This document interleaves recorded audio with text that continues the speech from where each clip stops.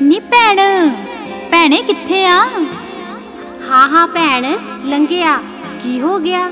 ਨੀ ਤੈਨੂੰ ਨਹੀਂ ਪਤਾ? ਨੀ ਕੀ? ਉਹ ਜਿਹੜਾ ਨਿੱਕਾ ਜਿਹਾ ਜੋਗੀ ਆਪਣੇ ਪਿੰਡ ਆਇਆ ਸੀ ਜਿਹਨੂੰ ਮਾਈ ਰਤਨੋ ਨੇ ਆਪਣਾ ਪੁੱਤ ਬਣਾਇਆ ਸੀ। ਹਾਂ ਹਾਂ। ਉਹ ਆਪਣਾ ਪਿੰਡ ਛੱਡ ਕੇ ਚਲਾ ਗਿਆ। ਅੱਛਾ ਜੋਗੀ ਪਿੰਡੋਂ ਗਿਆ?